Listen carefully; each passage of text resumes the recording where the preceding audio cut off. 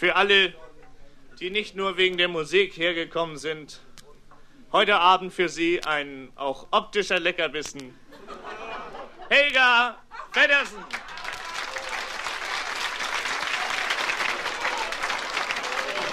Wenn das losgeht, Mike, sagst du noch einmal vorher, damit ich mich hier Eins, reinschaffe. zwei, Viertel vor drei. Jo.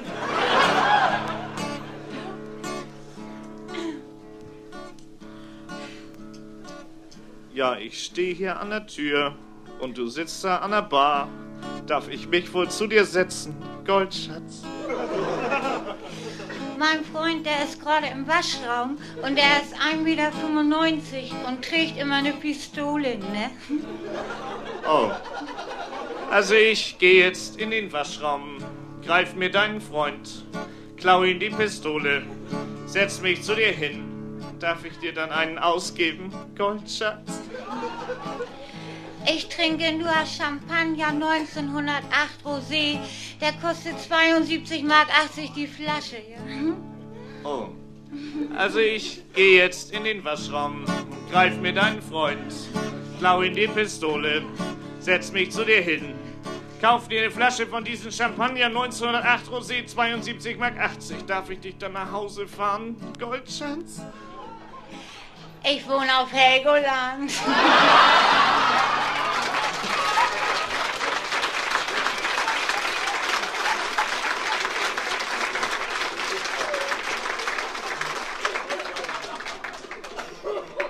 Oh.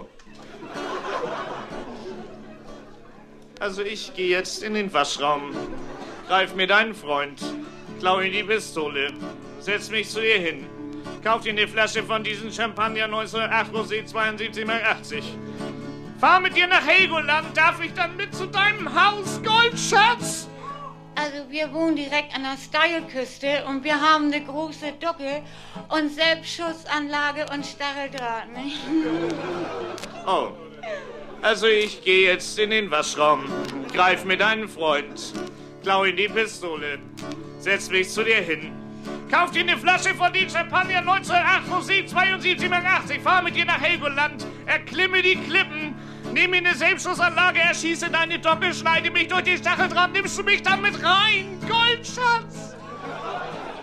Ja, es ist ja auch schon ziemlich spät, nicht? Und dann wollte ich ja gerne noch meine Haare waschen, nicht?